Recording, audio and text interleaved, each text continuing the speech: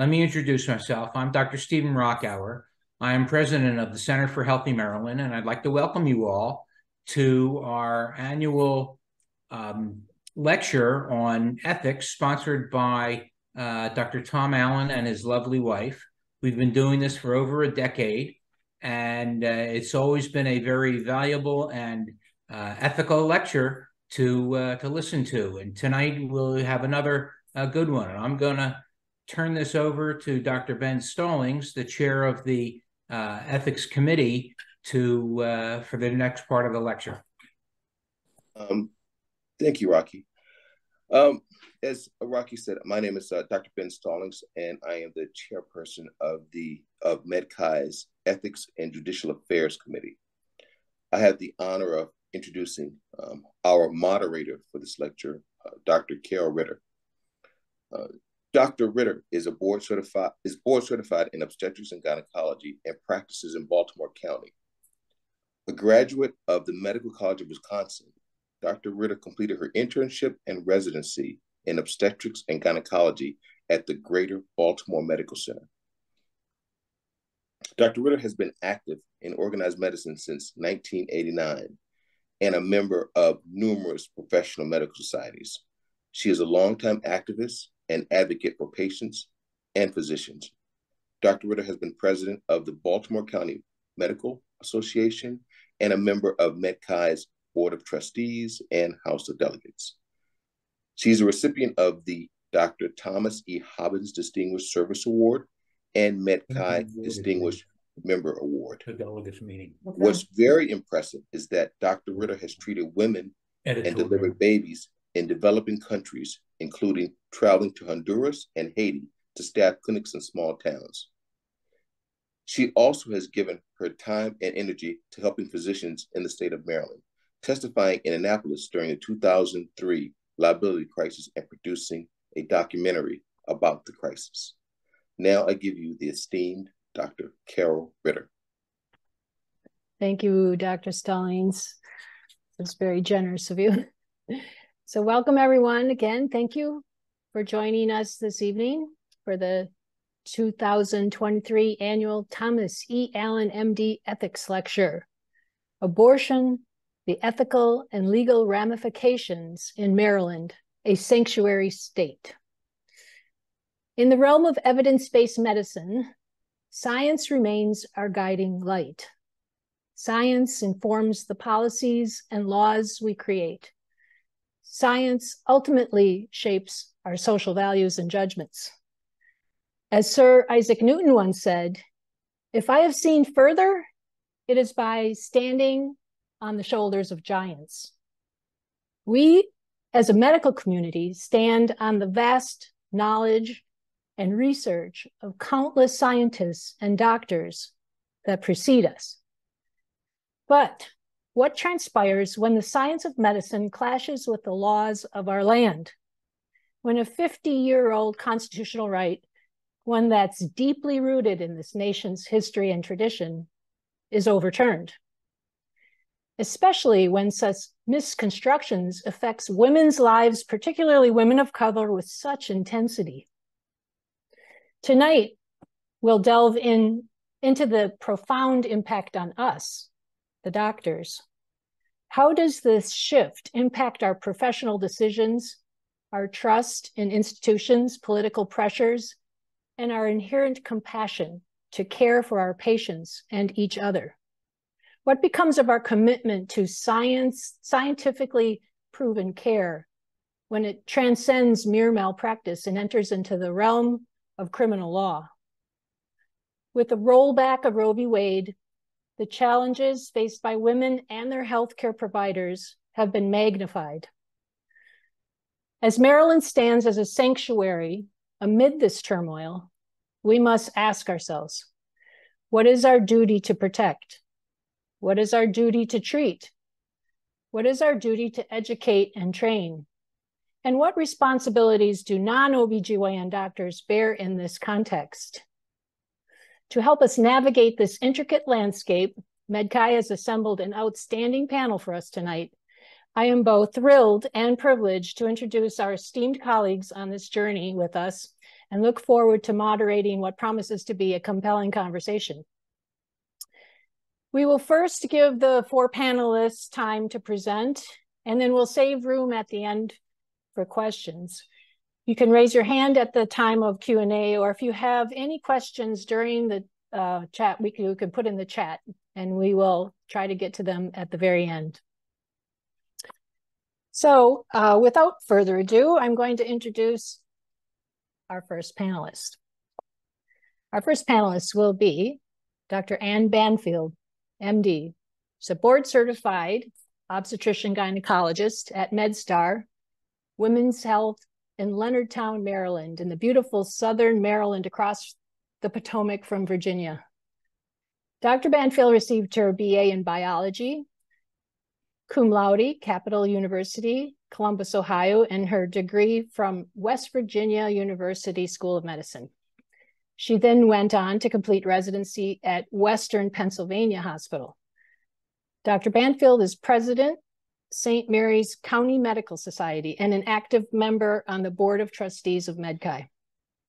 She also served as ACOG's representative, American Cancer Society, National Roundtable for Cervical Cancer. Dr. Banfield loves snow skiing, scuba diving, yoga, reading, and traveling. She will present her unique um, on the ground perspective coming from Maryland from states with strict reproductive health policy restrictions. So without further ado, Dr. Banfield, you're on. Thank you so much, Dr. Ritter. Um, I'm going to be sharing my screen here. And so as many of you know, that takes just a moment. And if someone can give me a thumbs up that we have success, Great. All right, so I'm going to talk a little bit um, about the fact that I actually am relatively new to Maryland. I came here um, in May of last year from West Virginia. And in, as many of you know, West Virginia is sort of the uh, polar opposite uh, of Maryland when it comes to policies and um, uh, laws related to abortion services. Um, what is perhaps um, less obvious is even prior to the fall of Roe and the Dobbs decision, um, what many of us were experiencing um, in these states that you can see here that have more restrictive um, attitudes and uh, laws related to abortion is we already were seeing the effects of the difference in what our um, politicians and laws uh, were impacting us. Even prior to the fall of Dobbs, West Virginia only had one active clinic that provided abortion services. Um, we had a limited number of providers we did have a few providers at other locations, um, many of which were actually not made public um, because of the attitudes and issues that we dealt with in West Virginia. And 90% of reproductive age women in uh, West Virginia lived in a county without an abortion provider. When you contrast that to Maryland, only 29% of reproductive age women in Maryland were living in a county without an abortion provider. Um, recently, and Maryland is considered one of the very uh, protective states. Um, and as many of you know, Maryland actually has shield laws in place to protect providers in the state of Maryland who are giving services um, that are needed by some of our um, patients who come from these other um, more contentious states.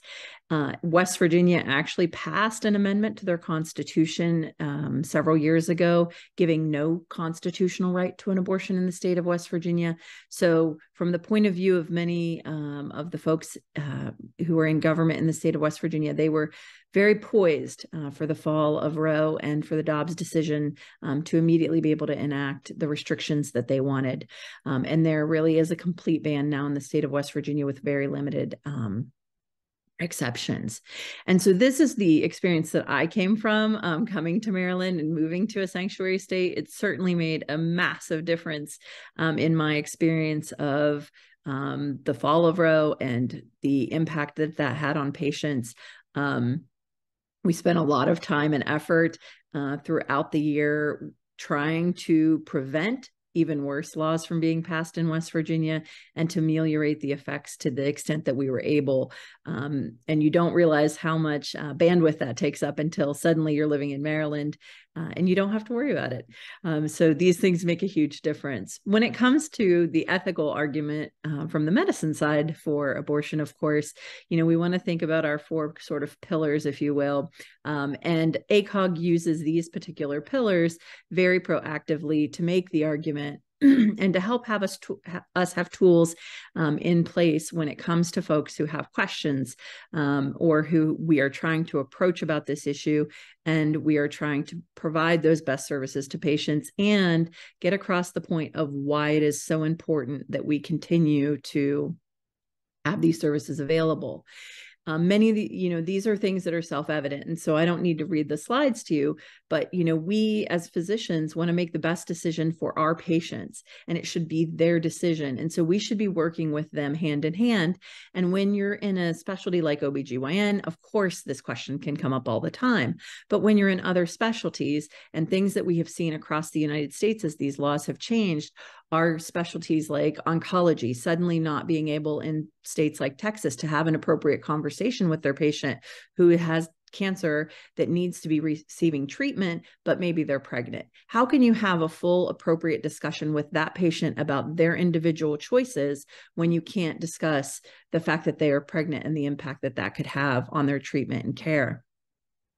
We want to make sure that we're always considering the best um, and safest things for our patients. And if you cannot tell your patient that when you have rupture of membranes at 15 weeks gestation, the medical recommendation based on the science is to have a termination of that pregnancy because the likelihood of a positive outcome for either the mother or the baby in that case is essentially zero.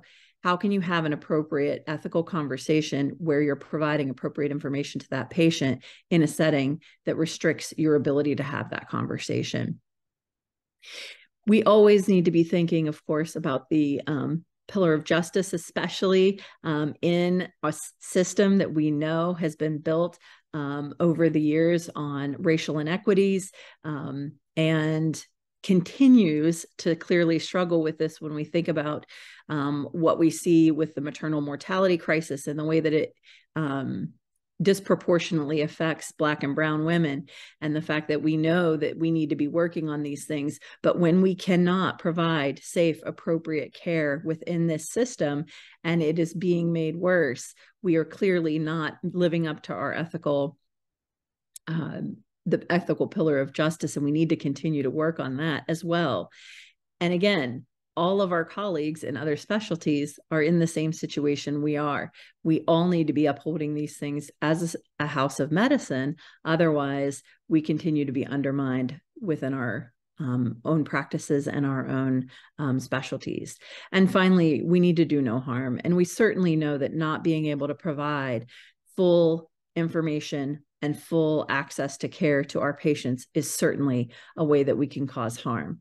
It should not be up to anyone else but a physician and their patient what treatment options are reviewed and discussed. It should not be the um, decision of someone else whether or not you're going to be causing additional harm. And we know that medication abortion is safe.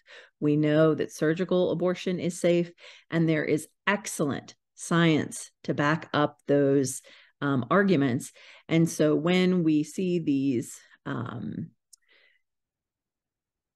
research articles coming out of um, poor science and non peer reviewed journals, as a house of medicine, it is very important that all of us look at that research very carefully and we all stand up and say, this is not right we saw during COVID that when the House of Medicine does not stand together and when we allow folks to undermine um, those pillars for us, we end up in a situation where we are unable to provide the best care to our patients. And really, they become confused as to what is the best care because there is so much misinformation available and public.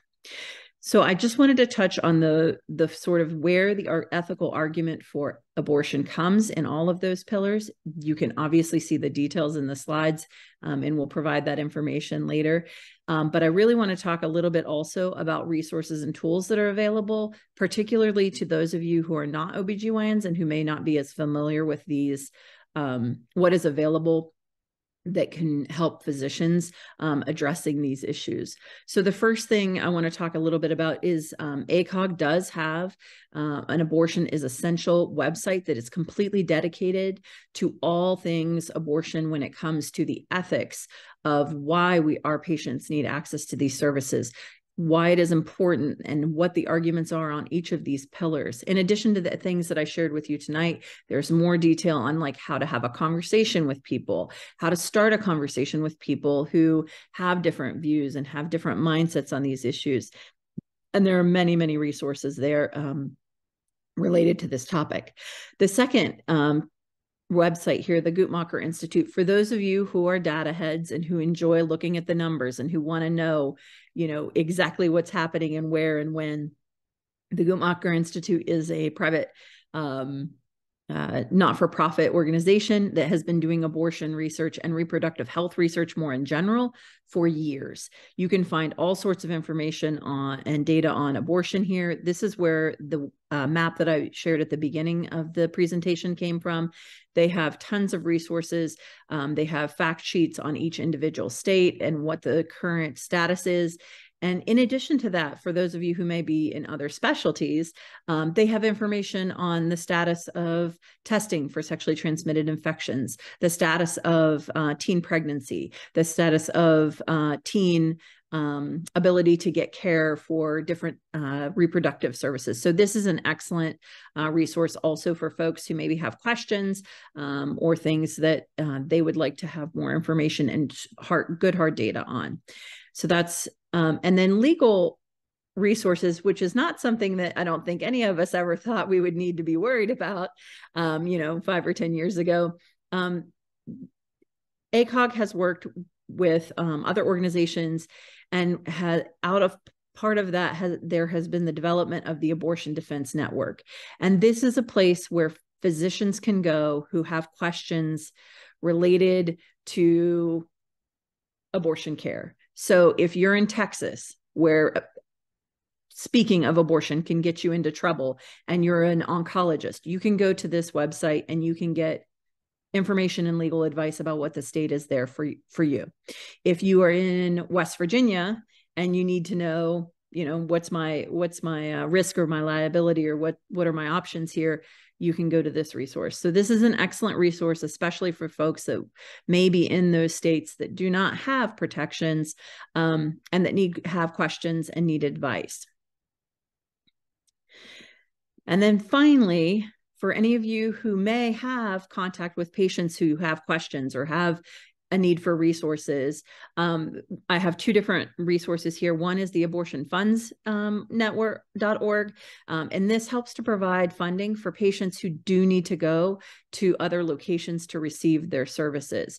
So if you're here in Maryland and you get a phone call from a colleague who is in West Virginia, which happens to some of us, um, and they're talking about like hey i have this patient. What what can i do? This is a resource for the patient um, as far as if they need funds to help them with travel because as we know many of these patients who are in these states um, do not have the funds and the um, resources that they need to get to locations uh, where these uh, services are available. And then finally the abortion care network and this is an uh, this shares abortion providers so that folks who are seeking services um, can locate perhaps the closest um, services to where they are um, and to allow them to uh, better uh, access services um, to the best of their ability, depending on what their restrictions in their state are. Um, so, just briefly in closing, I think that the thing about um, that I think is driven home to me over and over again is that when it comes to the ethics of having a more equitable set of laws across our country, it is not people like us on this call. It is not our friends and family who are ever going to have the issues related to accessing care. You know, we all live in a sanctuary state. If nothing else, you can bring your family member or friend to this state to get the services that they need. But when we talk about people who do not have the resources that we have, even in the state of Maryland, if you're in Western Maryland, getting the services that you need can still be incredibly challenging because you are in part of the state that does not have active services available there. And so I think it's really important that we keep in mind um, when it, we think about that pillar of justice, which again, I think is incredibly important. It is not just that those who have can always have what they need and those who have not, we are making it harder and harder for them to access the services that they need. Um, I'm more than happy to take questions at the end. I appreciate you guys inviting me to be here, and I hope you appreciate the experience of someone coming from a state that is significantly different. Um, and I look forward to hearing the rest of the speakers. Thank you, Dr. Ritter. Thank you very much, Dr. Banfield. It's so interesting that you use those pillars of justice because historically, you may or may not know, those are from the Belmont Report, which is in Maryland, and that came out after Tuskegee and what happened with the syphilis trial.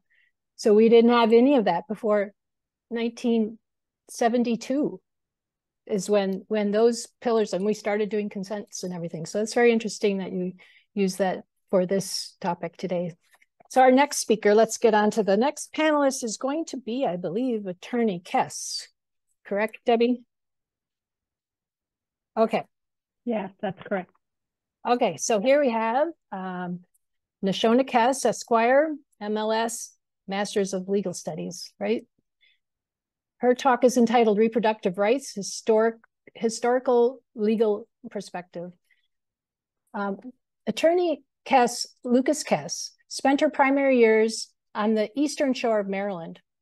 Ms. Kess graduated from Morgan State University with a Bachelor, Bachelor of Liberal Arts in Philosophy and continued her education by attaining a Master's of Science in Legal Studies from Kaplan University, now known as Purdue University. At Kaplan, she successfully completed courses that included ethics, family and legal systems, functions of state government, and legal process. Attorney Kess then went on to attend Widener Commonwealth University Law School in Harrisburg, Pennsylvania. During her tenure in law school, she studied constitutional law, which generated her interest in civil rights advocacy. After graduating from Widener Law School, Ms. Kess began working at Sena Law through ad advocating for children in foster care, as as well as other family law and estate planning matters. From working as a legal assistant to becoming a licensed attorney, Attorney Kess has successfully worked in the legal profession for 15 years. She has been an avid advocate for marginalized communities for more than 18 years, advocating for women's health, civil rights, environmental justice, equitable housing, and many other equity issues that have a negative impact on their community. Attorney Kess is second vice president of the NAACP Baltimore City chapter. She also chairs the branch's Legal Redress Committee, where she leads their effort that focuses on policy advocacy as well as, as investigating civil rights and discrimination complaints. So, no further ado, Attorney Kess, it's all yours. Thank you. Um, and let me share my screen before I get started. All right. I believe you all can see. I'm just adjusting my screen here. Thank you all for joining tonight. Um, I always like to say you could be anywhere else. Um, so I appreciate all of you for choosing to be here today. Um, just discussing this very important um, issue regarding abortion, rights, reproductive rights, however you want to, uh, you know, term that. Uh, my name is NaShona Kess. And as you heard, let me, all right. I am a licensed attorney in Maryland, a reproductive rights advocate, civil rights advocate, and um, I have my affiliations are at the bottom. Um, Miss uh, Ritter did speak on um, some of them, uh, so I have the the list here. All right, so what I wanted to do here, my agenda is to just kind of discuss where or how did we get here and where are we now? I feel like sometimes it's important to talk about the foundation. Um, although I understand that, you know, you all are very, very um, educated um, and you all understand what's going on, but sometimes we we don't have a full grasp of all the things that are very important to let's say abortion rights. So i just kind of wanted to go over that. And um and then i know my other panelists will discuss some of our uh, considerations uh, for the legal considerations. So how did we get here? So let's just start there. How did we get here in the place that we are now? Roe v. Wade I know you all know what Roe v. Wade is. I know that you know what Roe v. Wade did um, in the end, but I just kind of wanted to talk a little bit about that. Um, it's a famous lawsuit regarding abortion rights. Um, Jane Roe, what that was not her actual name, but uh, that is a name, her alias um, that was given. Jane Roe, an unmarried pregnant woman, she filed suit um, on behalf of herself and others to challenge a Texas abortion law. Um, additionally, a Texas doctor ended up joining in on that lawsuit. The reason why is because the, the doctor determined that the law was vague and that particular doctor was arrested and other doctors had been arrested because they did not follow whatever the law um, stated, which was super vague. They didn't understand how to follow the law, and um, the state did arrest many medical individuals because of that. Um, here, Jane Roe, she did challenge several other constitutional issues, but one of the things that were picked up was the 14th Amendment, amendment the, the rights of privacy. Um, the court said that forcing someone to continue pregnancy can create risks of physical health, mental health, finances, and social stigma. Um, the court determined that the due process clause of the 14th Amendment protected the right of the individual to choose whether to end their pregnancy prior to viability. And viability is so important um, here. So, a blanket abortion bans were considered unconstitutional. And at that time, there were about 40 plus states um, who found that abortion was illegal. Um, however, over time, right, other states ended up limiting abortion as opposed to having the blanket um, abortion laws. Did Roe v. Wade create an absolute right to abortion? The answer is no. It did not create an absolute right to abortion. Um, the court weighed the legitimate state interest um, against different factors and um, they just determined that it would vary based on the gest- gestational age, right? And so we know that first tri- trimester, the court said that that decision is between the doctor and the childbearing citizen.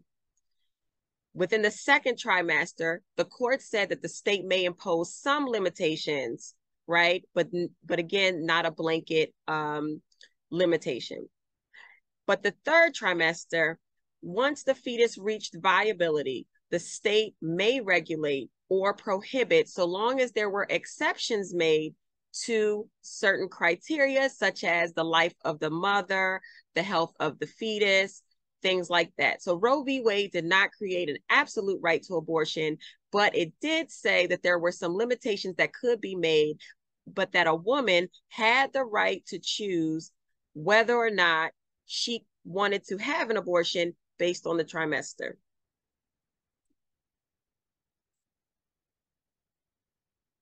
In Roe v. Wade, um, well, following Roe v. Roe v. Wade, there was Pl- Planned Parenthood v. Casey. Um, but I wanted to highlight one of the quotes um, that was stated until the viability line was crossed, the court held that a state could not impose a substantial obstacle on a woman's right to elect the procedure as she thought proper in light of all circumstances and complexity and complexities of her own life. Um, and so those things were kind of brought up and talked about. But the problem here, um, after Roe, Roe v. Wade, was that this decision remained case law and was not codified, which is why we are brought here where we are today talking about the different um you know what the different um states and what everybody's doing and how states are regulating individuals right to an abortion uh states or congress could have codified this law because unfortunately even though the supreme court is the one who heard this case and decided this case precedents can be overturned all the time and this had been said over and over again throughout the years that Roe v. Roe v. Wade was on the chopping block. And so as soon as there was a Supreme Court panel justices that um, would challenge Roe v. Wade, we are now in the place that we are, right? Um, and so it was always the hope that the states or Congress would codify Roe v. Wade. And in most cases, that didn't happen. Okay, so Dobbs v. Jackson came about recently, and that's why we are kind of in the place that we, we are in and the overturning of Roe v. Wade. Um, in 2018, there was an act that was passed in Mississippi, and which um, stated that uh, 15 weeks was the limitation for a, an abortion. Well, in this case, it wasn't a real, it wasn't an individual, but it was a medical facility that challenged this particular law. Okay, they filed an appeal. They lost, the state filed an appeal. They lost the appeal. And of course, that's how it came to the Supreme Court. The justices determined that the Constitution did not mention abortion at all. And because it did not mention abortion, that right was not deeply rooted in the nation's history and tradition, nor implicit in the concept of ordered liberty. Basically, they're saying at the time that the Constitution was written, there was no consideration for abortion, right? And so, because abortion was not um, specifically mentioned in the Constitution when the Constitution came about, then therefore it's not there and we shouldn't really consider it, right? Because it wasn't there in uh, whatever year, seven, the 1700s, when women weren't even considered full citizens, right? And for the most part, men were the ones writing all the laws, and men did not consider the health of a woman at that time. But that is what the um, justices in Dobbs v. Jackson stated that there was no history or tradition in abortion when the Constitution Constitution was created. Justice Roberts stated that the Constitution is therefore neither pro life nor pro choice. The Constitution is neutral and leaves the issue for the people and their elected representatives to resolve through the democratic process in the states or Congress.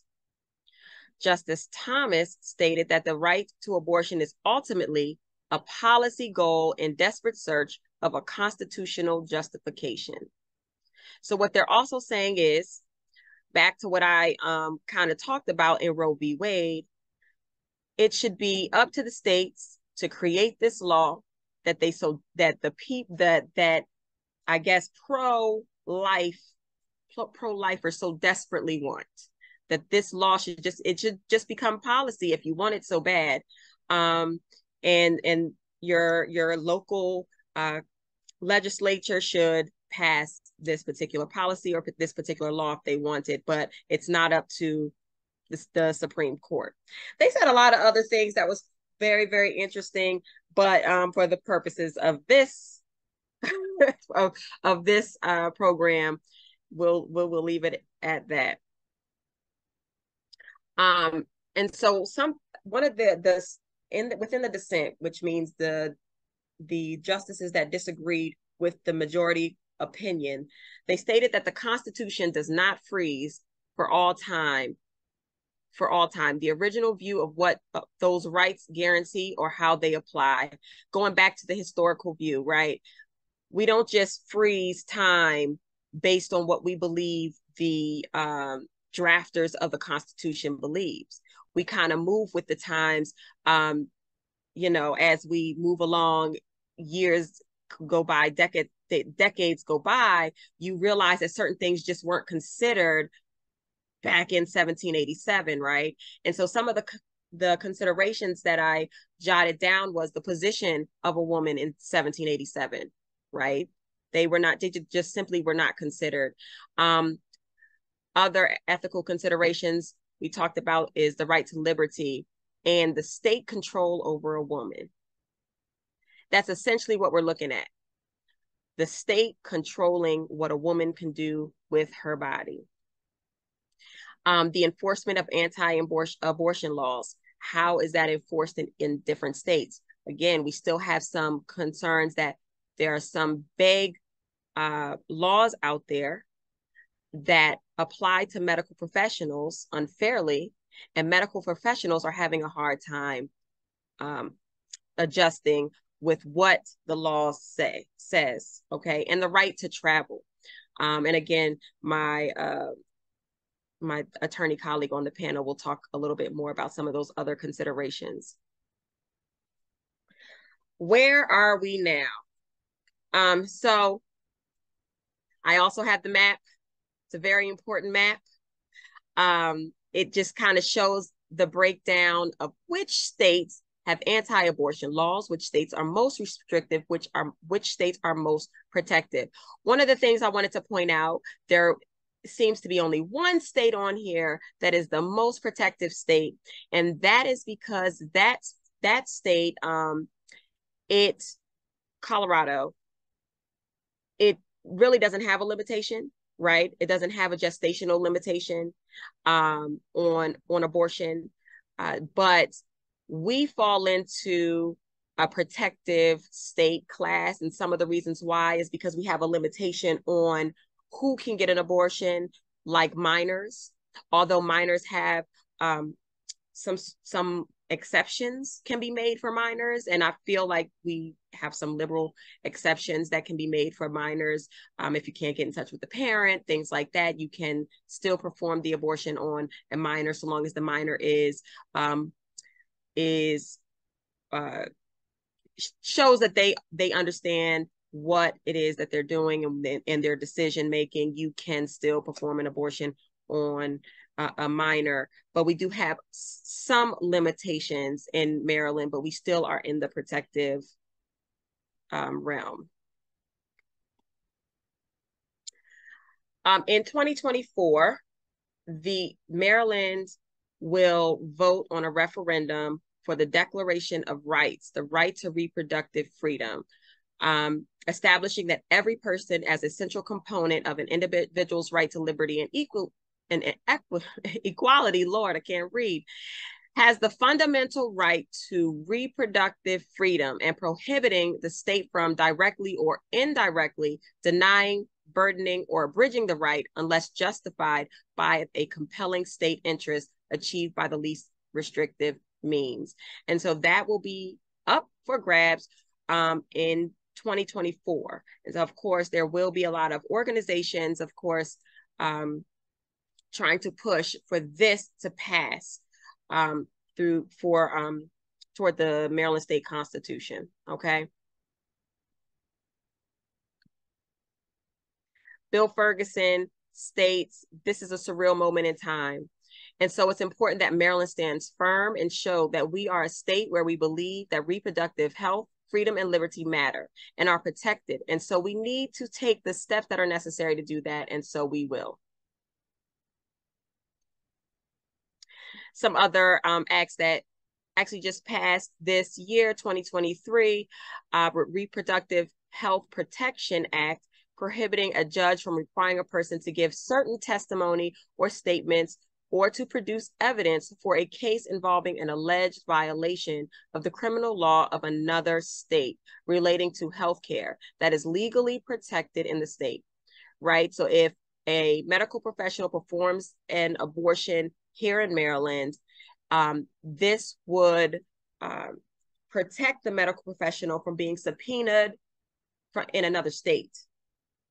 So when a patient comes in from a different state, this is something that will protect that um, medical professional. The health, reproductive health services, protected information and insurance requirements. Um, this also helps protect the medical profession, but it helps protect the record keeping um, mechanisms uh, within the, the medical professional, within the medical profession. As you know, a lot of um, information is stored electronically and it can be accessed. Um, and so this will assist in those efforts. Uh, public senior higher education institutions, reproductive health services plan. This will allow people who are in higher education for that institution to provide uh, contraception and abortion services. Okay, so that allows for the um, schools in higher ed, Morgan State University, among others, to have those services available for their students. And I wanted to just kind of point this out because we sometimes seem to think that although um, you work in Maryland, our medical professionals may work in Maryland, that they may be um, required to perform some of these services. And so I just kind of wanted to point out the Maryland's Conscience Clause, which allows medical professionals to sort of opt out um, and, and not perform those services. Um, so a person may not be required to perform or participate um, in an abortion if you if you did not want to. Okay, so that protects you in that way if you um, if you don't agree morally, ethically. Um, and lastly, I just wanted to point out where protecting the patient and third parties um, may apply, right? We have the patient coming in from a different state. We have individuals coming in, maybe assisting that patient um, from a different state. And so this I thought was very important. Justice Kavanaugh, in his um, opinion, now, Justice Kavanaugh was in the majority opinion, but within his majority opinion, he made a statement that stated um, if a state barred a resident of that state from traveling to another state to obtain an abortion, in Justice Kavanaugh's view, the answer is no, based on the constitutional right for interstate travel. And may a state retroactively impose liability or punishment for an abortion that occurred before these um, before Dobbs takes effect? In his view, the answer is no, based on the due process clause or ex post facto clause. So I thought that was very important because we might see some of that happening um, in the future where a state may attempt to um, regulate an individual's right to travel to get an abortion. And we know here that Justice Kavanaugh, from the majority opinion, will um, certainly decide that that is um, unconstitutional to uh, to enforce any laws on a person just simply for traveling to a different state. Um, I just have a source slide, and that is it. Thank you. Wow, thank you. Wow, I definitely have a question for you at the end. Okay. Is telehealth travel? oh yes, I, I believe we'll, we go to, to that information. That um, yes, and you know what they say that the dissenting opinions of today are the majority opinions of tomorrow. Yep. So here we go. All right, our third panelist is Dr. Steven Ralston. His talk is entitled Abortion Care in Maryland Where Are the Obligations to Those Outside Our State? Steven J. Ralston, MD, MPH, is a board certified obstetrician gynecologist currently serving as Division Director, Maternal Fetal Medicine, George Washington University Hospital, and board member, Planned Parenthood of Maryland. Dr. Ralston has been a high risk pregnancy specialist for over 25 years with clinical interests, including a full range of maternal and fetal complications. His academic interests lie within the realm of medical ethics, especially around issues of pre-viability, prenatal diagnosis, and the treatment of fetal abnormalities. Dr. Ralston received his BS in molecular biophysics and biochemistry from Yale College and his MD in medicine from Columbia, Univer Columbia University. He later received his MPH in health law, bioethics, and human rights from Boston University. Dr. Ralston built and strengthened clinical maternal fetal medicine programs in both tertiary centers and community hospitals. He was co-director of the New England Center for Placental Disorders and headed a multidisciplinary team to streamline evaluation and treatment services for women with abnormal placentation. And with that, I'm excited and anxious to hear Dr. Ralston. Thank you. Thank you so much, Dr. Ritter. That was a very kind introduction. And um, Dr. Banfield, I want to welcome you to Maryland. It's nice to have you here. Um, let me see if I can share my screen as fastly as everybody else did. Are you seeing my slides? Yeah. Wonderful. So it's uh, really uh, an honor to be here. Um, thank you for inviting me. Um, um, I was asked to speak a little bit about the um, ethical implications of of being in a sanctuary state, and I, I, think our the previous panelists have talked pretty clearly about sort of what why abortion might be an ethical um, um, practice and why and how we got to where we are. I want to take a slightly different um, uh, bend on the, the topic and talk about what this means for those of us who are practicing abortion in the state of Maryland now and what our obligations to patients who are coming to us from other states might be. Um, I do have some disclosures. Um, if you haven't figured it out, I am I am pro-choice, and I am a board member of Planned Parenthood here in Maryland, as what as well as a former board member of Planned Parenthood in Massachusetts, which is where I was um, several jobs ago. Um, I was also a member of the ACOG Committee on Ethics and the ACOG Committee on Genetics. And ACOG is the American College of OBGYN. This is um, a pro-choice organization that represents um, OBGYN professionals throughout the country. And I am an abortion provider here in the state of Maryland. Um, I will show the same map that everybody else has shown. Um, thank you to the Guttmacher Institute for this map. Um, I put it up here so you can all see where Maryland sits, I'm sort of surrounded by states that are more restricted. Now, you would think that that would mean that Maryland would have led to a huge influx of patients um, coming for abortion care. Um, that hasn't been entirely true. Um, certainly from West Virginia, we've been seeing patients, but that's been true um, for a while. There have been restrictions in, in West Virginia, and not many providers. Um, but really, patients from the South have other places that they can go to before they reach Maryland. So we haven't seen that huge influx um, in Maryland yet, although we are definitely seeing patients both at the University of Maryland, where I, where I used to practice at Planned Parenthood, um, at, and at the abortion clinic where I practice medicine right now, which is Whole Women's Health in Parkville. So, but to be very clear, it is not new that there are abortion restrictions um, since um, the fall of Roe um, two years ago. Um, even before Roe was overturned, there were many states where it was very difficult for women to get pregnant for women to get um, pregnancy terminations for a variety of reasons. One reason that there just weren't any providers in those states, that there are very few providers. And so getting access to a clinic that could provide abortion was difficult. Um, many states had gestational age restrictions. Um, there were various laws that made it difficult for people to be abortion providers, and so there were fewer abortion providers in some states. And there were some states that had restrictions based on indication, um, primarily Down syndrome and gender selection. So it's not like we were living in a country without abortion restrictions before Dobbs. Um, but certainly those restrictions have become much more widespread since Dobbs. Um, and also just, I put up another map here in the United States. This is just showing the, the states where there is Medicaid funding for abortion. Maryland is one of those states, but you can see that the vast majority of states um, in the union do not provide funding for abortion through Medicaid services.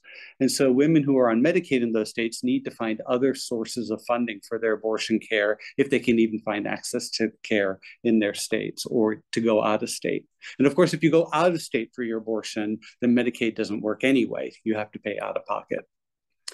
Um, so, what are our obligations as individual providers? Um, I, I, gather that the vast majority of people on this phone call are not OB/GYNs, and the vast majority are not abortion providers.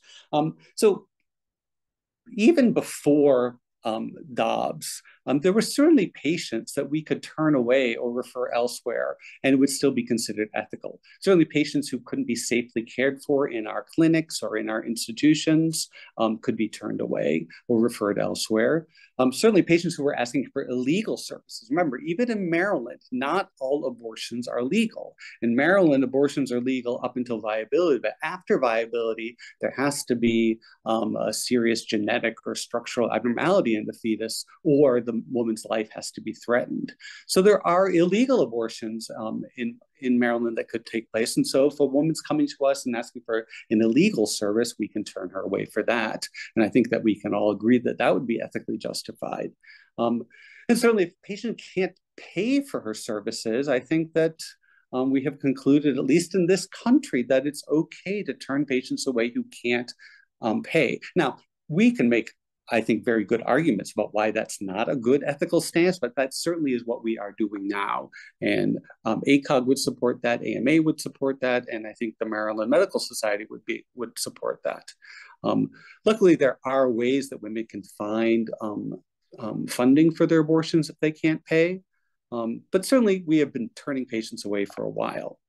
And now there are other threats to providers. There are threats to our licensure, threats of torts and lawsuits, threats from criminal or felony prosecution. And although Maryland does have shield laws, it is always in the back of our heads.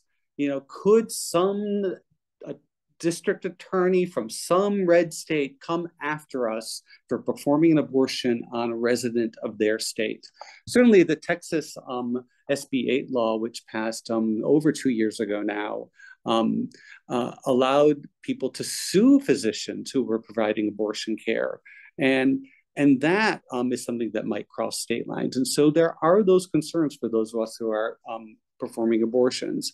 And for some care, we are vi- trying to be very careful. So, for example, when we're performing medication abortion in, in the clinics that I work in, um, we give the pills in the clinic, and the second pill that the patients have to take a few hours later or a few days later, we tell them that they should do that while they are still in the state of Maryland, because we don't want them to be doing something that would be illegal in their own state, um, because we worry that that might come back to haunt us.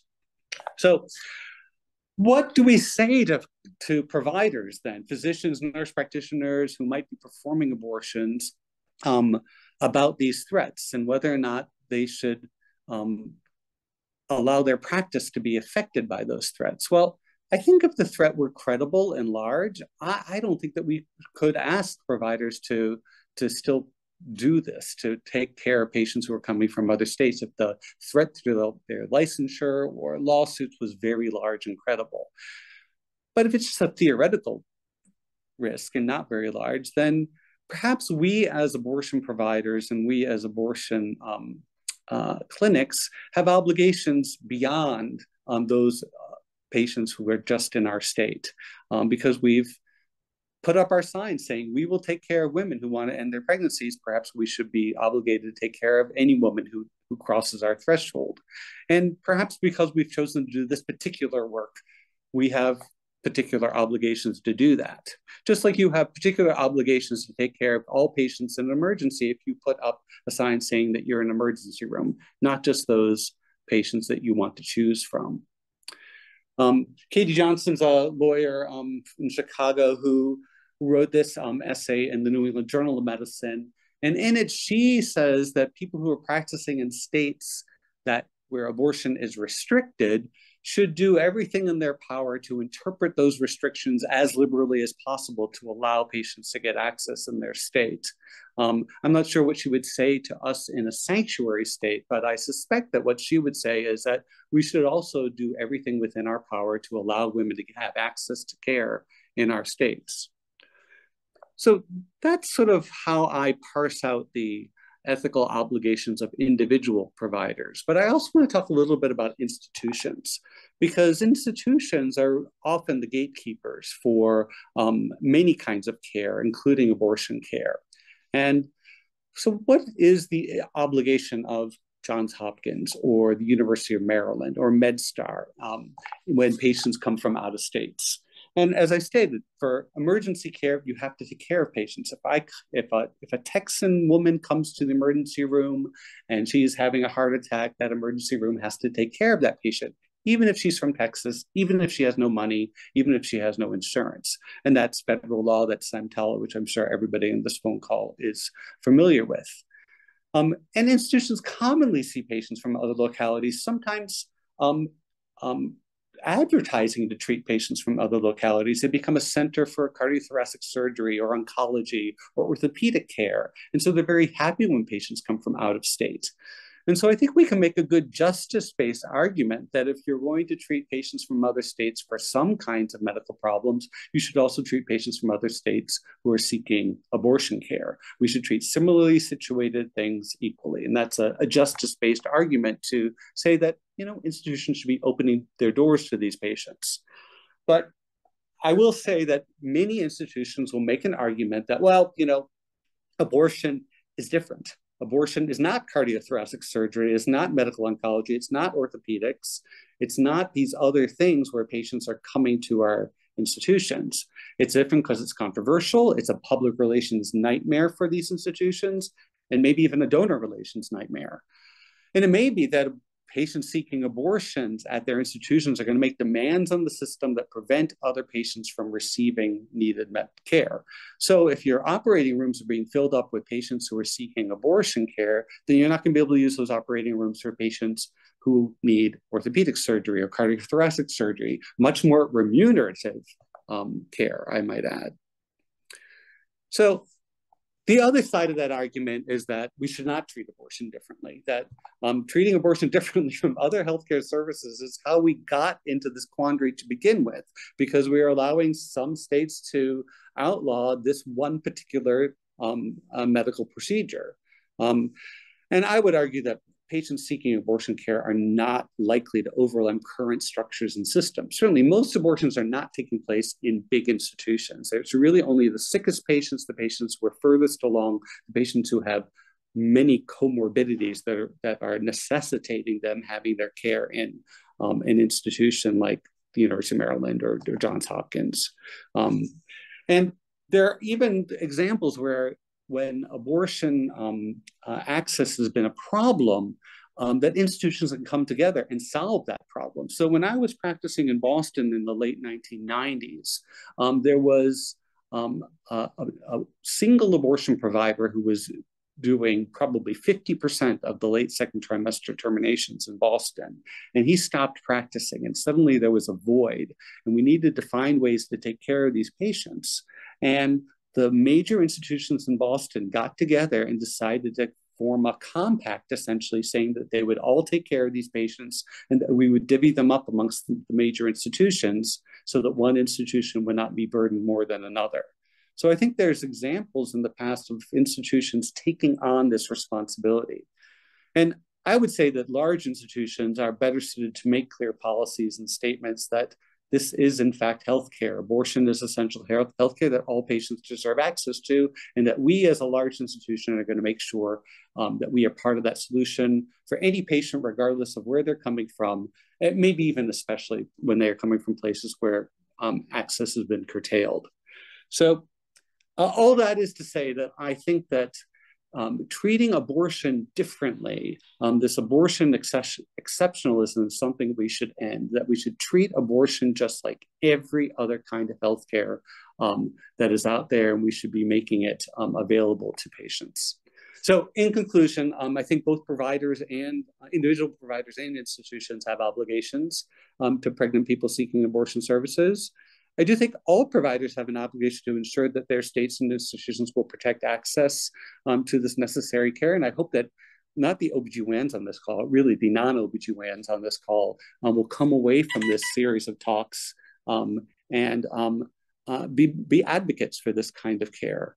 Um, and so I think we all have obligations to ensure that our states and institutions will protect providers who are on the front lines because we are putting ourselves at risk, not just from you know the crazies who might shoot at us, but from the from the legal risks out there.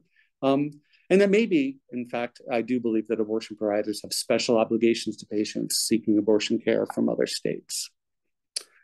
And I'll, I'll just end with these um, uh, three little um, boxes, just showing you that um, states where abortion um, is restricted, states that make abortion difficult to access, are states that have higher maternal mortality rates.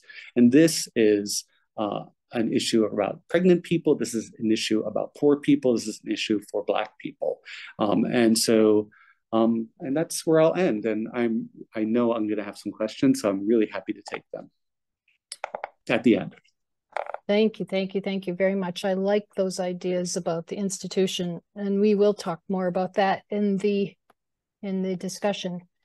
Um, so let's to get to our final, save the best for last, right? Annalia Michelman, right? Uh, she is a uh, JD MPP, Masters of Public Policy. Annalia Michaelman is a senior attorney in uh, the American Medical Association Advocacy Resource Center where she works directly with national, state, and specialty medical societies to enact state laws and regulations that enhance the practice of medicine. Attorney Michelman joined the AMA in 2014 and specializes in Medicaid, public health and safety, health disparities, and state budget issues. Prior to joining the AMA, Ms. Michelman was a health policy specialist with the National Alliance to Advance Adolescent Health in Washington, D.C., where she conducted research on federal Medicaid policy and behavioral health programs. Ms. Michelman received Juris Doctorate and a Master's in Public Policy from Georgetown University, an undergraduate degree in political science from James Madison University. Prior to attending graduate and law school, Attorney Michelman worked on state legislative, congressional, and gubernatorial campaigns in Virginia as a political campaign fundraiser. She is here today as one of our AMA legal liaisons to help us more fully understand the reproductive health laws over the past year. So, Thank you so on. much for having me. Let me share my screen.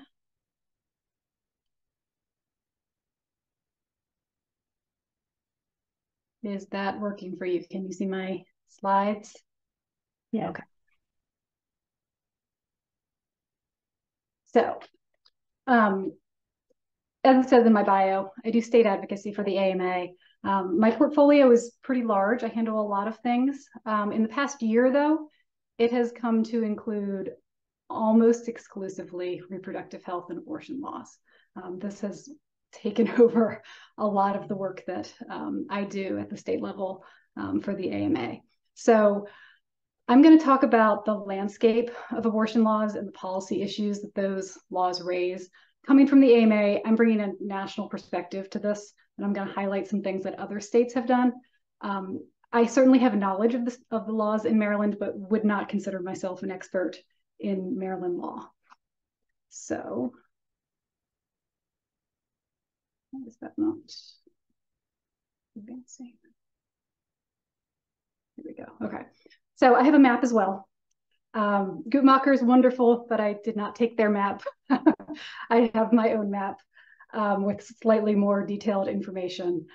Um, I track this very closely. Um, in the 15 or so months that it that have happened uh, since the Dobbs decision, um, abortion is now severely restricted in exactly half the states. So as you can see on the slide, um, as of today, 14 states have banned all abortion from conception on. Two states, Georgia and South Carolina, um, have a ban after fetal cardiac activity is detected, so about six weeks. Um, and then nine others ban abortion later in pregnancy, but before 22 weeks. Um, this map here is what is in effect right now um, many of these states have other bans on the books, some of them conflicting, um, that are not in effect, but this, this is what the map looks like right now. So I want to give you a look into the issues um, facing states like Maryland. I'm not going to go into the problems and complications facing the physicians in the, the restrictive states, um, but as you know, this webinar is exploring, Marylanders are not immune from the impact of those laws. Um, so I think that the main issues and responses can be broken into two general categories. We have the interstate issues, um, like responding to the possibility of enforcement from other states. And then you have the access and demand issues, responding to the increased number of patients um, that are seeking care in states like Maryland. So first with the possibility of interstate enforcement, telehealth has become a critical way to ensure access to abortion care. And since physicians in Maryland are potentially interacting with patients via telehealth, I want to give you a brief look into the factors um, that need to be considered um, when you're treating patients from other states. Um,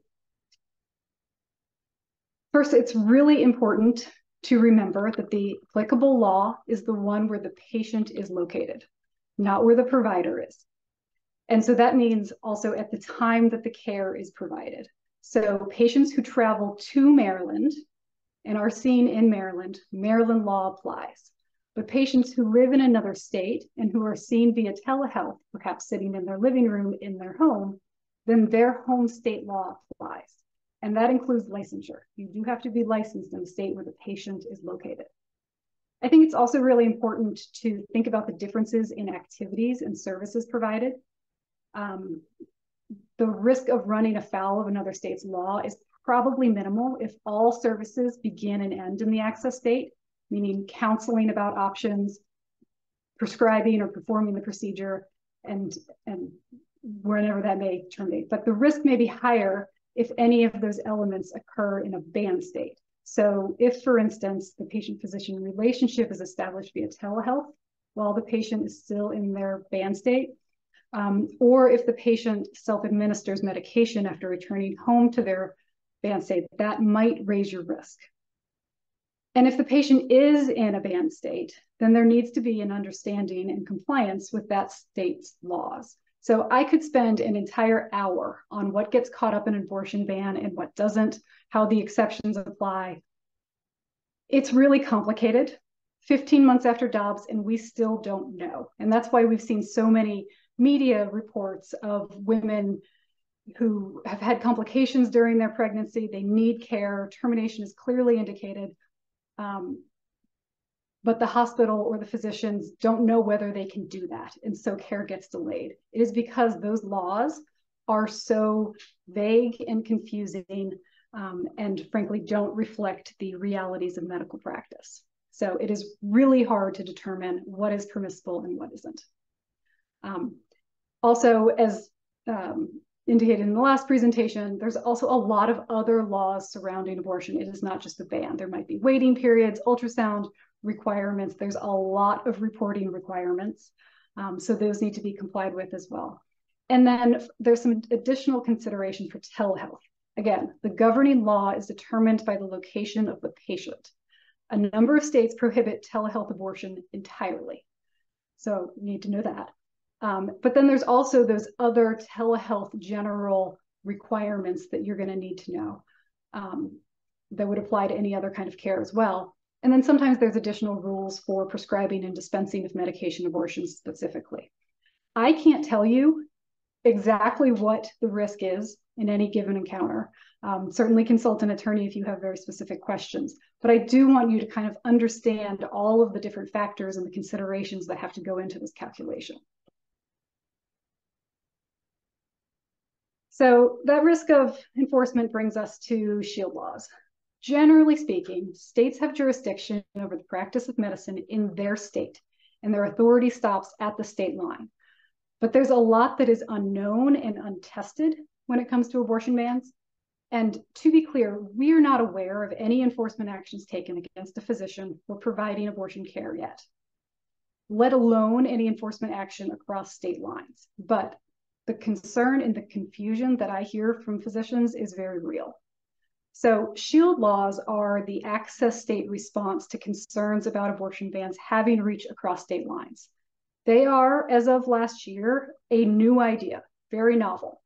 So far enacted in 17 states in DC, including, as you know, Maryland. And across those states, we've seen SHIELD law protections fall into some common buckets. Um, the ones that you see on the slide are the features that are also in Maryland's law.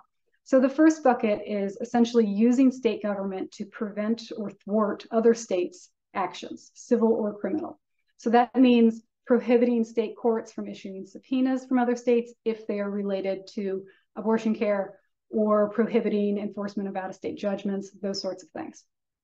Shield laws also often prohibit the medical board from taking disciplinary action based on out-of-state activity that would have otherwise been lawful in the state. Um, they often also uh, prohibit reciprocal disciplinary action. So if you were to be disciplined, if you were uh, licensed in multiple states, disciplined for providing abortion care in a restrictive state, um, oftentimes, you know, if you get in trouble in one state, it carries over to the others, right? Um, so sometimes these shield laws prohibit that sort of reciprocal action.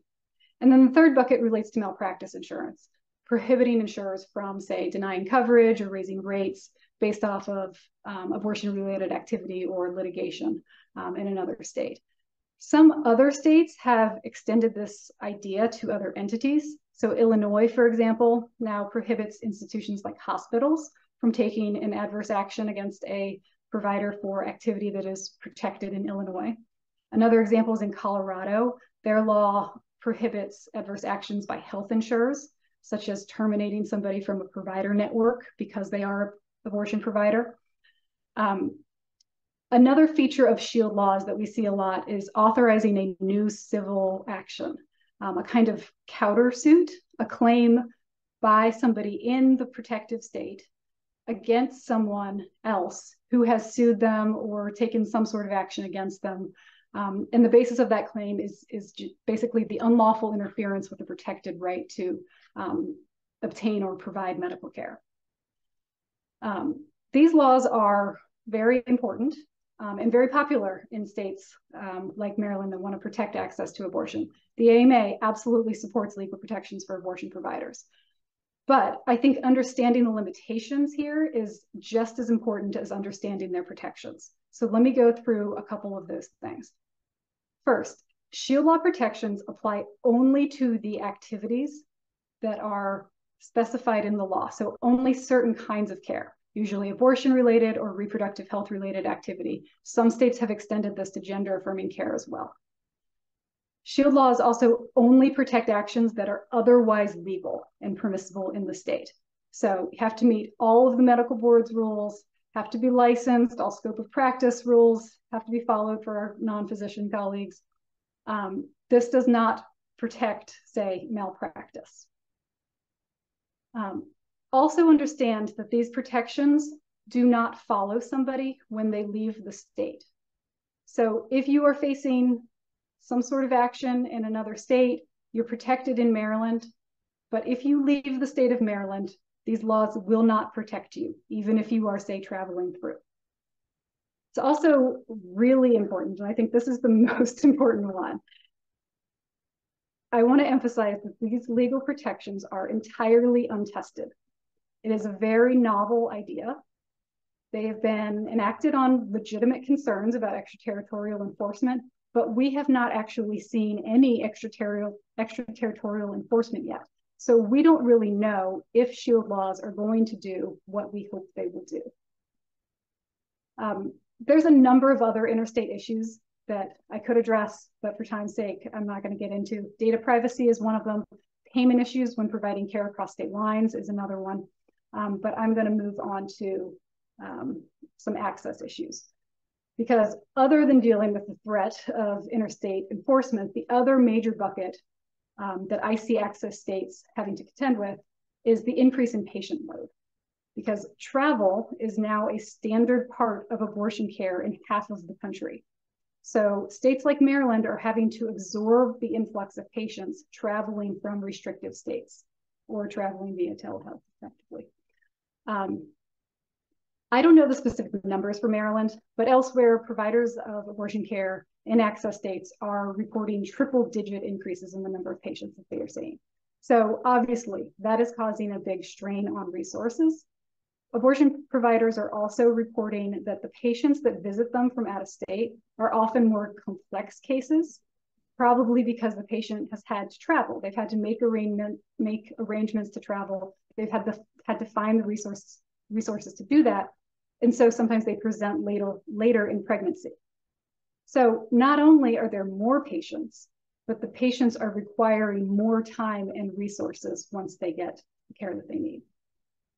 And so in response, states have looked at additional support and financial assistance for clinics and patients. Maryland is one of those states. Um, this is things like committing funding to supporting repro health services and infrastructure, increasing Medicaid reimbursement rates, and in some cases, direct payments to clinics that have a high patient load. We're also seeing a lot of bills from access states, a lot of legislation to fund training programs to shore up the workforce. Um, by and large, this has been focused on expanding training for non-physician providers, though. Um, availability of medication. So mifepristone, there is a lot of litigation surrounding mifepristone. The bottom line is that for now, it's status quo, but the future availability of mifepristone is very much up in the air. There are a few court cases, um, including one that the state of Maryland is involved in. I think the most notable one is out of Texas, where a small group of doctors have challenged FDA's approval of mifepristone as well as the conditions FDA has set for dispensing it, so the REMS that go along with, mifepristone. The litigation is ongoing, um, and the Supreme Court has blocked any changes for the time being. But the latest development was that an appeals court decision has preserved the original approval of mifepristone, so that's good. Um, but they are they have permitted invalidating the recent changes to the REMS. So there were changes made in 2016 and 2021 um, that, among some other things, allowed mifepristone to be prescribed via telemedicine and dispensed via the mail. So at the moment, access to medication abortion and mifepristone specifically is unchanged.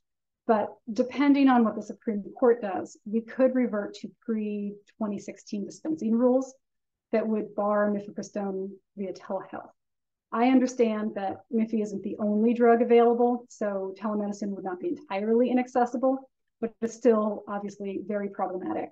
Um, and I could probably talk for another hour about the, the problem with civil civil challenges to um, uh, FDA approval of drugs generally. Um, we've also seen, I should note, a couple states start to make plans to ensure continued access to medication if mifepristone becomes inaccessible. Um,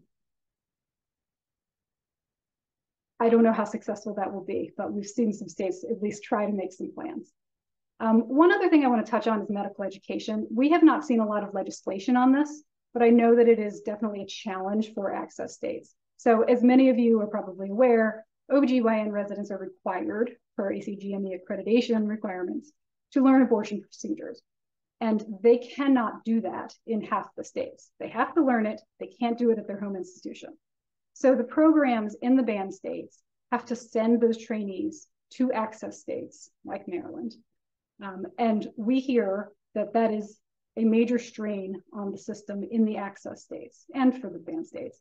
Um, but the institutions in the access states have to absorb that increase, handle all of the logistics, which is very complicated, while also making sure that they are taking care of their own trainees. So to end on a kind of positive note, um, access states are also doing a lot to ensure that people maintain meaningful access to care. That means often establishing or reaffirming a statut statutory or constitutional right to reproductive care, as Maryland is in the process of doing. We're also seeing a lot of bills to expand Medicaid coverage for abortion services and to prohibit private cost sharing um, or cost sharing in private plans, I should say. Um, a few states have also funded public outreach programs to ensure that people know abortion services are available and how to get them. So for instance, Massachusetts and Oregon, and I think a couple other states have established hotlines that people can call with legal questions um, or for help finding care. So I know I'm out of time. Just to sum up, there are a lot of policy and legal implications, even in states where abortion remains legal or the abortion laws have not changed. But there is still, even a year later, can, a considerable amount of uncertainty to contend with. Um, all right, I know that that was probably a lot of information. I am happy to take any questions that you all may have. Yes, a lot of information indeed. That is uh, constantly changing in real time. So this is the question and answer part. If any of the participants uh, want to raise your hand, ask a question, uh, feel free to do that. Or if you have a question, put it in the chat.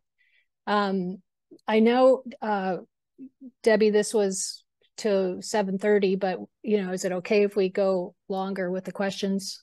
I would, I would think oh, maybe yeah. we could, yeah. yeah. So, um, okay, there, there is a hand raised. Uh, it says Meg Fairfax Fielding. Oh. but you don't look like a yep. Meg, but maybe you are a Meg. Uh, so can you announce who you are? Yes, yes. Oh, um, I'm Dr. Henry Farkas. Okay. Um, I've had this ever since it, in Texas they passed that law that says that any doctor can be sued no matter where they are if they uh, even talk about abortions to somebody from Texas. I had this vision. Yeah, here I am in Maryland, but I have a daughter in Los Angeles, and sometimes I like to drive across the country and visit. I'm not an abortion provider, so it, it actually wouldn't apply to me. But if an abortion provider was passing through Texas and a Texas state trooper read their license plate and found out that their name was on a list of people, could they arrest them because they're in Texas and they would be subject to that law while they were not in Maryland? So I could I could take this one. We haven't seen a lot of those cases, rather surprisingly. So we don't really know how they are going to end up. But an important limitation to the SB 8 in Texas is that the civil action is out of aiding and abetting an illegal abortion in the state of Texas. So if you are in Texas providing abortions that are illegal, that don't meet any of the and any of the exceptions, then there's a risk of civil liability for that. But it does not capture if a Texas resident travels to Maryland and receives abortion care in Maryland. There's okay. Yeah. Thank you. Uh, I see uh, Bruce, Bruce Hirschfeld. You raise your hand. You have a question. Mm. Can you hear me okay? We can. Good. My understanding is that certain rights that I acquired under the Constitution and responsibilities like registering for the draft started on my birthday, my 18th birthday in that case, going to be 25, be representative, 30 to be a senator, 35 to be president, vice president. When did those begin? Did, did they begin on my birthday or did they begin in some undetermined time when I was in my mother's womb? How do you start the timeline? We're talking about rights and responsibilities. When do they begin? Uh, yeah, I think what you're getting at is the, the idea of personhood, of fetal okay. personhood. Yes. Um, which uh, a couple states have passed fetal personhood bills. Mm-hmm. There's actually some litigation too, trying to establish that um, in Texas and in Georgia. Um, very good question. um, we hear a lot about that. So yeah, the when does life begin question. So yeah, that's that's a, uh, a question that I don't think any one of us can ever answer. But the, the questions around these uh, laws now are uh, what we have to deal with, with as physicians and working within the field. Uh, personally, I have a license to practice in Wisconsin, and uh, I'm going back to my 40th year medical school class reunion. Oh boy, I could just see, you know, them lining up outside of um, Medical College of Wisconsin. Like, here's all the doctors, right? OBGYNs. But now, uh, as of this week, they ruled a, a rule of uh, a judge ruled that abortion was not part of the 1849 law. So I can go back to my home state comfortably now without having to worry about being uh, thrown in jail in the middle of my medical school class reunion. I mean, there's the things that's ridiculous we think about though. I mean, but um, actually, I want to I go I want to go back to the telehealth because you know more more and more of these abortions are being done medically and not surgically. I mean, in Europe, they they do they do like 90% uh, medical abortions. Where here, I think it's more like 50-50 now. So the surgery surgery ones, your personhood is in the state. But where's the person? And uh, now that the uh, institutions are allowed and pharmacies are allowed to dispense mifepristone. Um, so we didn't talk about about the institutions of pharmacies. We talked about the institutions of hospitals and um, whatever institutions Dr. Um, Ralston was talking about.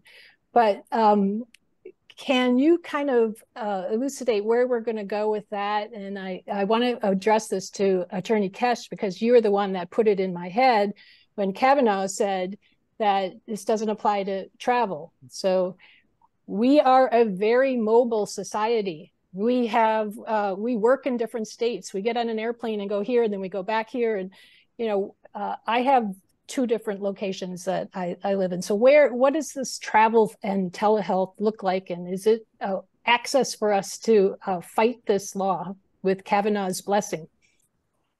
I think the biggest thing here would be um, the definition of practice of medicine in that particular state. So we know that um, all uh, those who practice medicine in Maryland must be licensed in Maryland in order to practice, right? And so when you are dealing with a patient who is telehealth, you have to consider the place in which that patient is situated at the time. Because if you are practicing, if you are um, engaging with a patient who is, let's say, in West Virginia through telehealth, that may be considered practicing Maryland in West Virginia because the patient is in West Virginia. Um, and so then you are subject to the laws of West Virginia and unable to um, more than likely unable to practice medicine there, right? And so you definitely have to consider where the patient is when the patient is um, communicating with you via telehealth. Um, and so that's one of that is one of the great issues. Um, and one of the other issues we, we talked about what is it, two pills? If you take one in Maryland and one in a, another state. I do believe that it still protects the medical professional because that medical professional um, diagnosed in the state of Maryland as opposed to wherever that patient went and traveled to. And most laws are affecting the medical professional and not the patient. Mm-hmm. So as long as you're in that state when you practice medicine, you should be okay. But as um Michelman, Michaelman. I, I heard it and I still said it wrong. Mm-hmm. Michaelman, yes. As Michaelman um, pointed out, there hasn't been a test of some of those shield laws yet. Um, but I do believe that we would be okay, even if you think about uh, the right to contract, right, where the contract was created, that medical, um, that medical contract was created in the state of Maryland. And so the state of Maryland laws would apply at that point. So it's a lot of constitutional variations that would go into that. Um, but hopefully we don't see something like that anytime soon. Yeah, it's just confusing uh, for me a lot because we do have a federal drug law. We can order we can order medications in pharmacies in all 50 states, but it's it's how we get the medicine there around the talking about why are we sending mifepristone over there? Because you know it's in it's in type it's in hyperspace or you know cyberspace. Right. but, so it right. would be uh, what's the what is the definition of practicing medicine if you if you um, put in a prescription into a different state and that patient picks it up are you practicing medicine in that different state or are you practicing medicine in still in maryland? Yeah we haven't we haven't uh we haven't been doing i mean we all send prescriptions to other states right now. We've been doing that forever I think it's only since telehealth came up where they're like looking at, oh, you got to have a, a license uh, to practice medicine in that state to send that to that pharmacy there. I mean, those nuances are, have come up since the pandemic. Mm-hmm. Uh, and, and, this this whole um, Dobbs decision is putting a whole nother light onto telehealth, right? From all other yeah. aspects of medicine, not just OB, but mifepristone puts it right at the tip of the iceberg here. Yep. I have a there's a hand raised. Steve. Oh, who's yeah, who's thanks. But, okay. Thanks. Um, um, I, oh, I, I, don't see I, you on the screen anymore. Oh, there you are. I am here. Um, thank you so much. Um, I um I had a question for um the lawyers or the constitutional experts that might be on the phone call. Um, as as we're all aware, the uh, Republican um, presidential candidates are all talking about federal abortion bans, and my question is sort of, what can you just sort of like walk me through what that would look like for us in Maryland? Um, will these um, federal bans preempt any of our state laws, or would there then be constitutional challenges because of the uh, it the Tenth Amendment? I can't even remember what it is, but um, if you could help me there. So um, I, there would be challenges to that kind of law, to a federal law, um, because the practice of medicine is general is reserved for the states. It's an exercise of the state police power. Um, but the federal government has uh, authority to um, regulate interstate commerce. Um, I think that they would probably craft that law so that it was focused on interstate commerce and uh, not so much the authority of states to regulate the practice of medicine. But we, we really don't know. Thanks. Okay. Um, I'm trying to go through the chat. Um, Debbie, have you look seen any? Is there? I I know Scott Hageman has a question. Scott, are you willing to raise your hand and speak to your question? I just did. Great, Scott, sure. Dr. Sure. Hageman. Sure. Some of us actually um, are physicians in other countries. That is, we go to other countries and deliver physician care in other countries.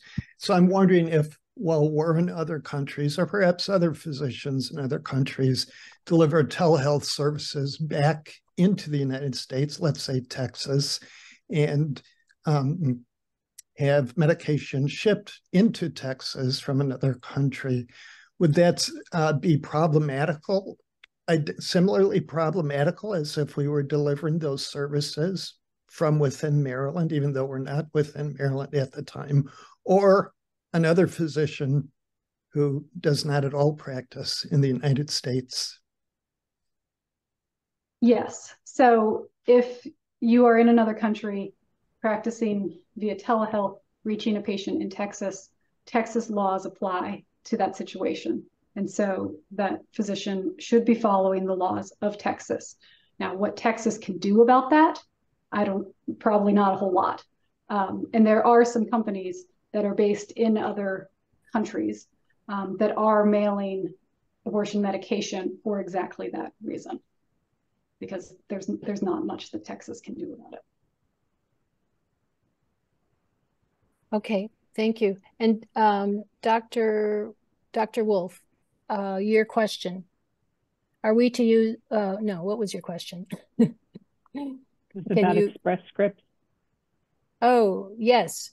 Express Scripts, uh, mail orders. Um, I'm not sure if they're going through the REMS, and I don't know if everyone knows what that is, but the risk evaluation mitigation strategy that you have to go through in order to be a prescriber. Pharmacies have to do that too. I don't know if mail orders have done that. Does anybody? I mean, I don't know. I don't even know if all the hospitals in Maryland have mifepristone on the formulary. In fact, I know one that doesn't, one that I work at doesn't. So, I mean, where is the institutional uh, responsibility for that? I mean, so there was a the, Mar- the Maryland Board of Public Works just approved a $1.3 million emergency purchase of 2.5 years of mifepristone, and the Maryland Department of Health is stockpiling mifepristone right now. This is this week. So yeah, we got a problem. and it's just going to um, explode like a volcano on us. Oh.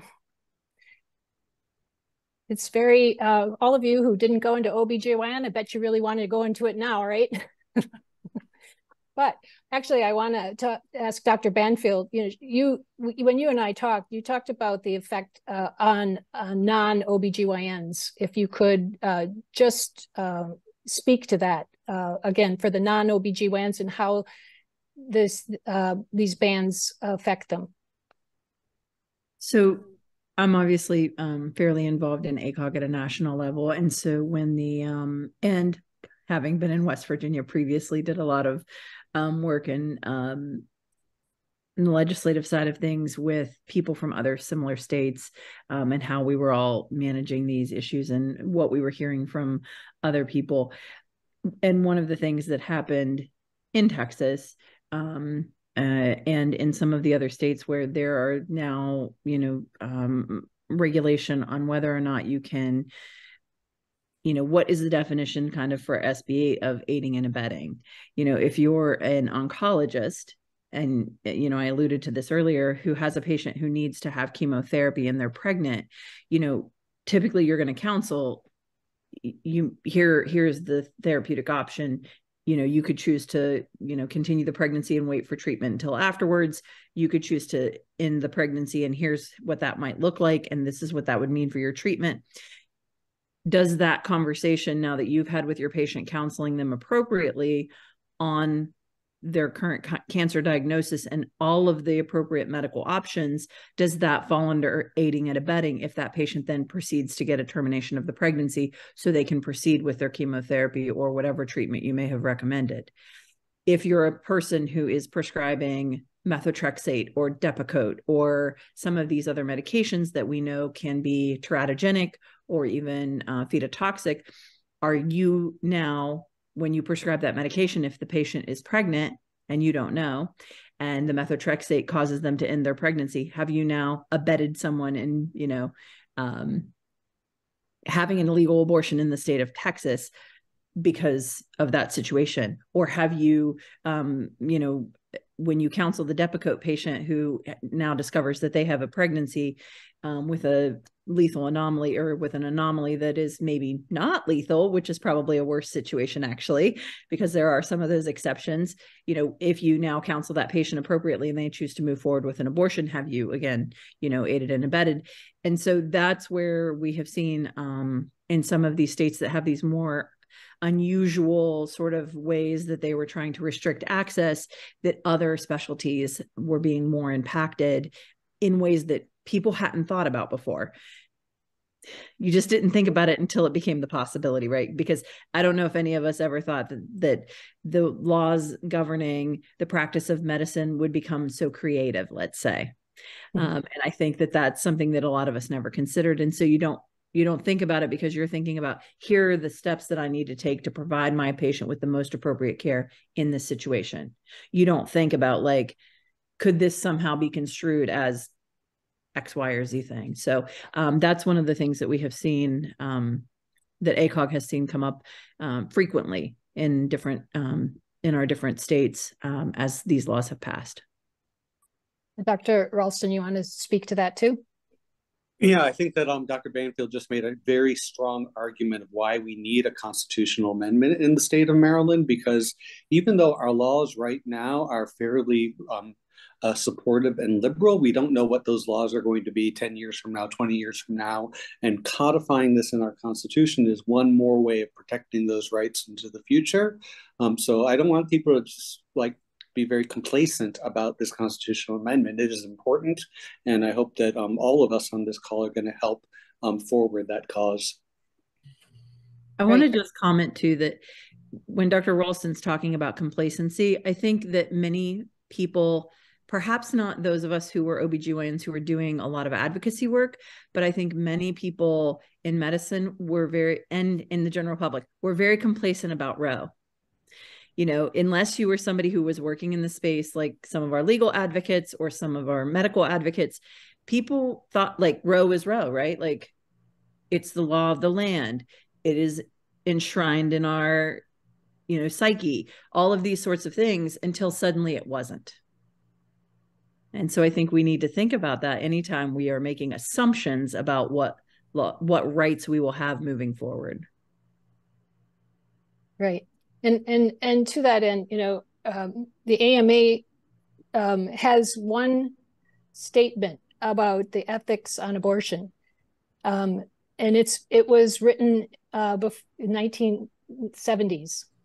Um, I really would love it if they looked at it and modified it a little bit more. Basically, says it's not going to prevent any provider from doing an abortion, uh, but that they should uh, make sure that they are uh, following the laws. So, uh, and they didn't specifically state anything else, but the laws of, you know, the states are, um, some of them are very non-scientific. So um, that's when I started this whole conversation is like, we are based on science. I mean, there's a lot of ethics behind this, but the science behind this is really what we have founded our uh, medical standard of care on. So um, we can agree, uh, we to be to disagree. Uh, we don't have to be disagreeable about it. I mean, that's why I'm so happy that we're having this conversation. Um, there is a comment that um, one made here that you know that that it was very one-sided conversation tonight, and I um, apologize if you feel that way, but I, I appreciate that you uh, said that because we can work on that to be more inclusive of the people who um, really have a completely different opinion about the ethics of abortion. Um, so, so I think if I think there's one other question out there. Anybody else have their hand up? Um, I hope your answer, uh, Dr. Gitlis, was uh, was answered that yes, you would be liable if your patient had a miscarriage after you operated on them from the anesthesia, even though it wasn't your intent. we have Dr. Rawlings. Stallings, so, sorry. That's pretty bad, Carol. With your hand up. no, no, I just wanted to comment on, on your on your uh, comment because I think it, it would be a wonderful situation if we could have um, dialect flowing both ways and seeing everyone's opinion. But I would be concerned if this conversation were, say, opposed to it, and one of us were there giving our opinions, you know, potentially be shot at this, you know, sh- shot, in, you know, as you stand, um, because there's so much. Um, the other opinion is a bit so aggressive that they're not interested in hearing anything else that the other side has to say. Um, again, so I think your suggestion is great if, if dialect could be had um, cordially, but I just don't see um, you know, well, that. This is a start. it's, it's, a start. I was in a conversation recently and uh, it deteriorated because of um, other views. But again, well, hopefully it's a, mm-hmm. we, we can um, head that in the right direction. I've been trying trying to get MedChi to do a, a CME on abortion for 20 years. Ben, I actually am the one that brought the question up. And I happen to believe in abortion rights, so and where the state is, but I don't think that we even a, attempted with the ethics to show to to consider what the other side thinks before we can have a conversation with them cordially. We need to be willing to consider where they're coming from. And I don't think we did that tonight. No. Uh, we can always work to be better, Dr. Wolf, and we will try. Dr. Ralston? Yeah, thanks. Um, and Dr. Wolf, you're absolutely right. This was a one-sided conversation, but I think that's because the topic um, just made the assumption that abortion was ethical because this was how we can deal with legally in the state of Maryland, which is a sanctuary state. I think we can have very robust conversations about reproductive um, rights um, uh, within this organization um, and have um, really respectful dialogue about that. But for the purposes of this conversation of sort of what are our ethical obligations when we are already in a sanctuary state, unless you want to make the argument, and we could make that argument that one of our ethical ob obligations is to fight tooth and nail to overturn all these laws and make make Maryland as a restrictive state as Texas is. But I don't think that's what what MedChi's purpose was. But you are right; it is one-sided. I think because Maryland is a very one-sided state. Um, but the ethical question of abortion is a very interesting question, and I'm happy to talk about that, you know, till the cows come home. Uh, Teresa Healy Conway has her hand up. Yes, and um, I'm staff. I'm not a clinician, but this is a question for the attorneys. Um, one of the things you mentioned was that you know we've been complacent with Roe versus Wade being in place, and one of the things that has come up that I've seen in the media is in these states, they allegedly have exceptions for the life of the pregnant person. However, it seems unclear who makes that judgment and what that risk has to be. Does she have to be actually dying? Is it a 50 50 chance? Like, is that where, you know, can somebody speak to that where, you know, doctors, you know, allegedly have on the books that there's an exception, but nobody knows how to interpret them? Yeah, I can speak to that. Uh, that is where I have spent a majority of my time over the past year's legislative sessions in red states. Um, and that is the question, because the the language usually goes something like, an abortion is is permissive permitted um, when necessary to preserve the life or to prevent um, serious bodily injury or major bodily function or something like that. And it's not it's not in words that doctors understand right? That's that's not how you operate. And so you know is it is some, does somebody have to be 51% um, you know over towards losing their life? Is it 70% these are all of the questions and and that is why we have heard all of these horror stories about women going to the emergency department in these states the doctor saying, I know what to do here from a medical standpoint, but I don't know what to do here from a clinical standpoint. And so they have to bring in the hospital lawyers and they decide and care gets delayed. Um, but yeah, the point is we don't know what those exceptions mean. They are not drafted in a way that allows for uh, you know clinical decision making really. And I just wanted to add, some of some of the language in some of the states just say if the health of the mother is um, you know, at issue, right? There, there's some issue with the health of the mother, and I think me- a mental health issue, um, because they don't specify what type of health issue that we are considering in some of these laws. Most of them do actually. Most of them right. So I've yeah, I've seen that they have just said health, and then there were some states that did identify mental health is not included.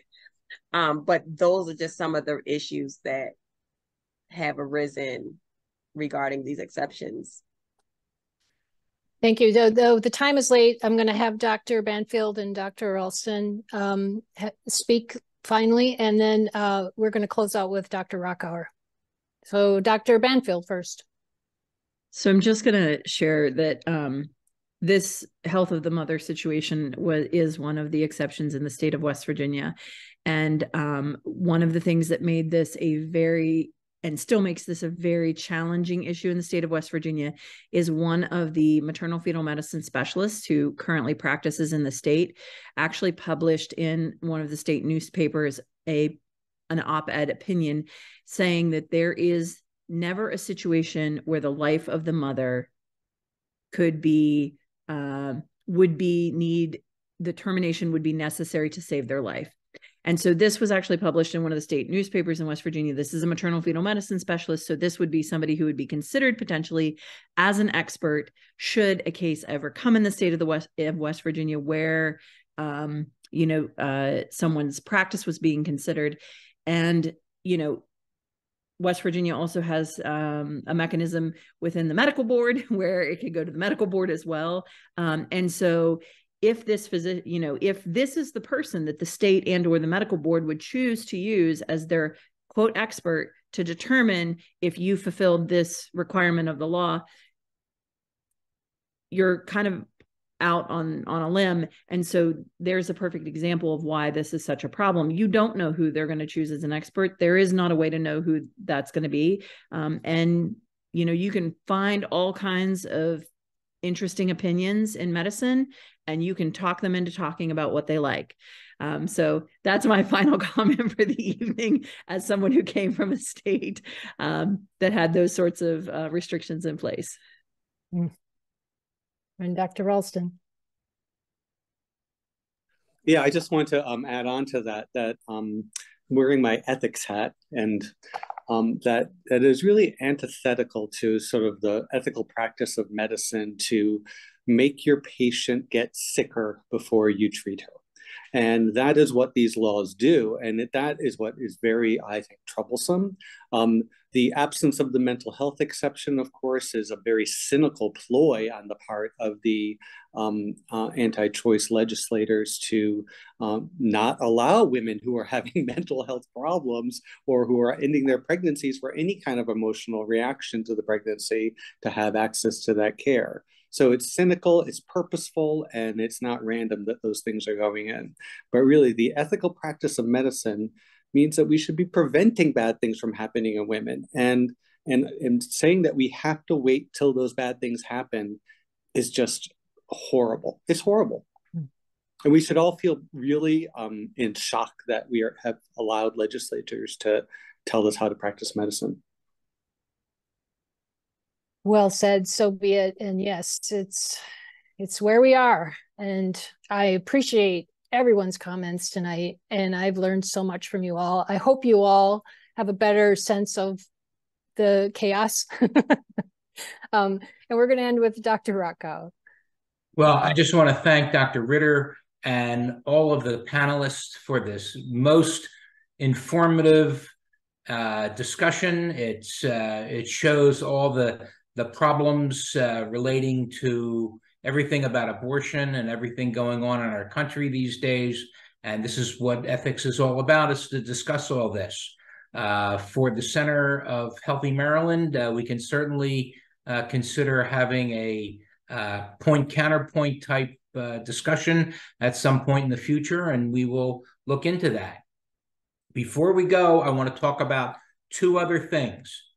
Uh, this coming Thursday, on oh, I guess it's September 28th, so that's next week. Uh, we're having our uh, another lecture in our 45th anniversary of the Physicians Health Plan. Um, September is Physician Suicide Awareness Month. This is another ethical problem and big time problem relating to physicians, and we're having a lecture by Dr. Jill Harkavy Friedman uh, to talk about uh, problems of suicide in physicians and uh, how we can prevent it. And it's not just pieces for the staff and uh, in the break room. Um, the other thing to be aware of is October 17th, we're having the Hunt Lecture where uh, we're talking about music, medicine, and MedChi. Um, music uh, can be used for all kinds of things to uh, help and soothe both physicians and patients. And uh, we'll talk about the problems that uh, musicians uh, can get into. So, on that, uh, I want to thank everybody again for participating in this very timely and disturbing topic. Uh, but we'll continue to talk about it in in the future. Thank you. All right. With that, Debbie, you want to take us out? Yeah, I just wanted to say that the evaluation form was in the chat this evening, but you will also get an email um, in the next couple days with the uh, link for the uh, evaluation. You need to fill out evaluations to get your CME certificate. So thank you for attending, everyone. And with that, we will sign off. Bye bye. Thanks. Okay. Thank you all again. Bye. Bye.